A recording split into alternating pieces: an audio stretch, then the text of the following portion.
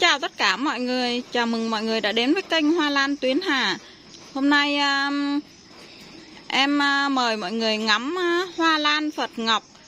Thì hôm nay em sẽ chia sẻ với mọi người cách chúng ta chăm sóc uh, Rất đơn giản để một chậu lan Phật Ngọc uh, năm nào cũng cho hoa Mà chúng ta trồng lan á, lan rừng á.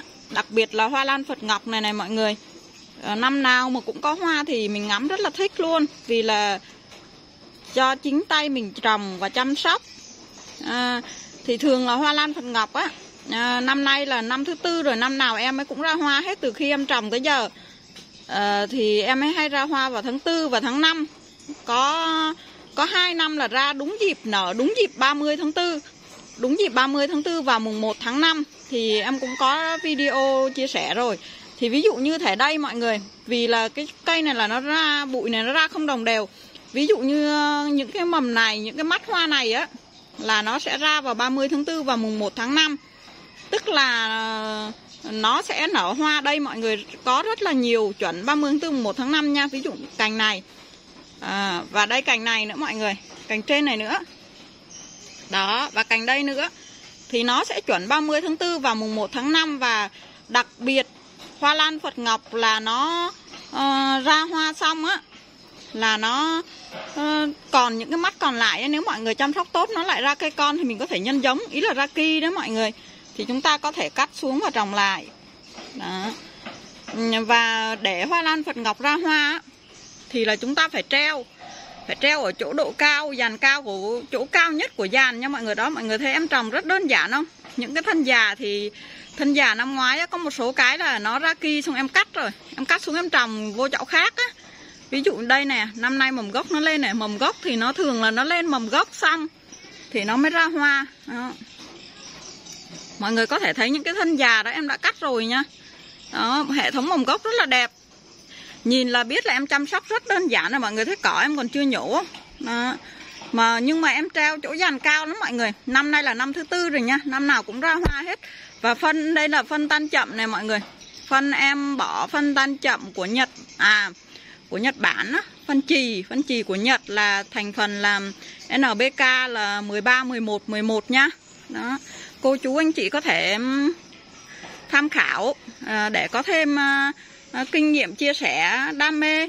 Ví dụ như thế là mình à, cũng có thêm chút kinh nghiệm thêm về cây lan Phật Ngọc nhà nhà nhà cô chú anh chị có trồng hoa lan Phật Ngọc không ạ? À? Nhà em thì à, cái này là em được một người em tặng đây, có một một mầm thôi một mầm em mới bó lên trên đây này, rồi em nhân giống ra.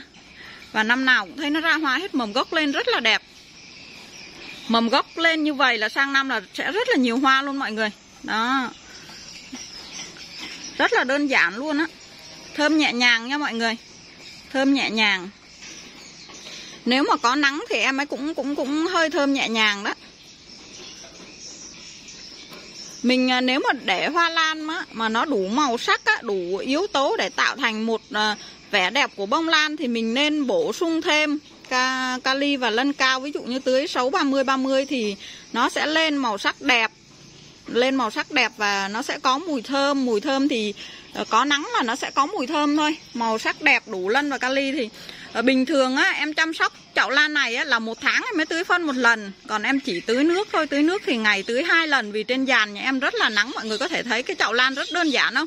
Dàn rất là nắng dàn trên mái nhà cho nên rất là nắng. Và em tưới uh, tưới phân á, thì ví dụ bình thường em chỉ tưới ví dụ một tháng tưới một lần thì em tưới 20 20 cộng TE tức là 20 đều đó à, pha một gam và cho vào đó là một mi B1 à, mọi người có thể cho thêm 4 giọt atonic cũng được có cũng được và không có cũng được cũng chẳng sao nhưng bình thường á mình tưới nước thì cái phân tan chậm này này mọi người nó tan ra cái phân trì này này thì nó sẽ ăn dinh dưỡng từ cái phân đó.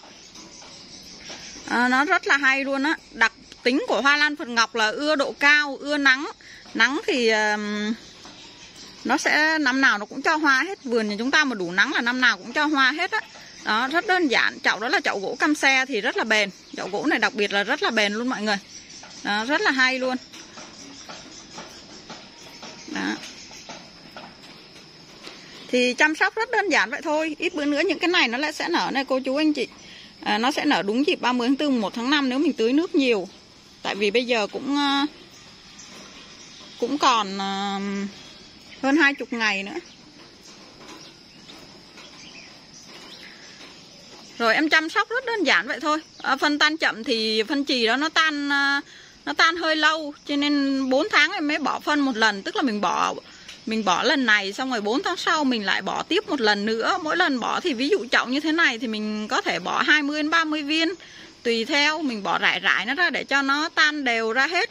Và khi mọi người quan sát cây lan mà đủ nắng là lá nó hay lên màu. Ví dụ như vậy là hơi tím tím một xíu nó hơi có màu một xíu. Ví dụ như đây ạ chẳng hạn ạ mình nhìn mình quan sát được.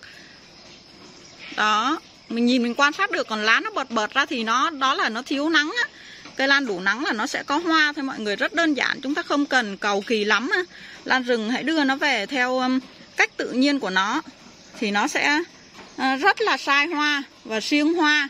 Năm nào cũng có hoa, mình ngắm hoa thì cũng trồng lan mà có hoa thì rất là vui. Em chúc mọi người trồng thành công những chậu lan đẹp và để thỏa mãn đam mê, nếu mọi người coi video thấy hay, hữu ích, thì hãy like và chia sẻ video để đồng hành cùng em nha mọi người Xin chào và hẹn gặp lại. Bye bye.